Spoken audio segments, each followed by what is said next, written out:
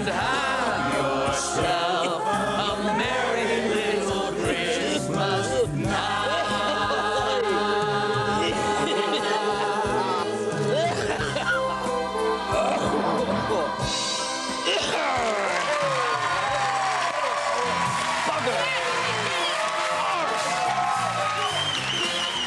Well, it only remains for us to thank? All who made it happen.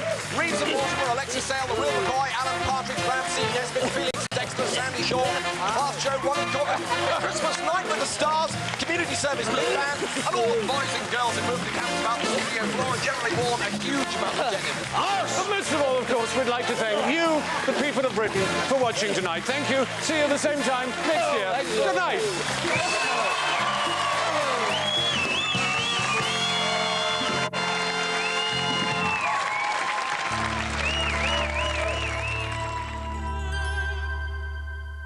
My name is Paul Calf. Next Saturday, my sister Pauline's marrying a Greek bloke called Spiros. What do you think? You can't wear white, that's fraud. So, Pauline, this is my wedding present to you. I call upon these persons here present to witness that I, Pauline Lulu Calf, do take thee, Spiros, Zorba, Panathageorgiados. I wonder what that's worth at Scrabble. It's a video diary of not only the ceremony, but all those topsy-turvy things that happen when you marry a Greek bloke called Spiros. So you're all cordially invited to the Knees Up Thursday at 9.50 on BBC Two.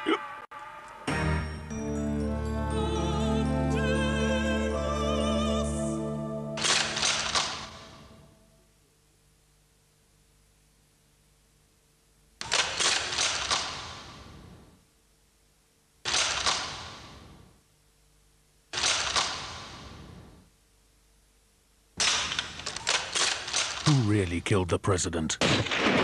Oliver Stone's Oscar-winning JFK. Tomorrow, 9.25, BBC Two.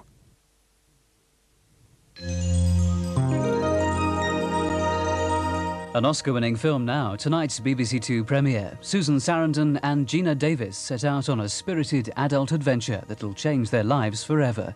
They're breaking free, on the road and vulnerable in a world where the language and the living is tough. There's no turning back for Thelma and Louise.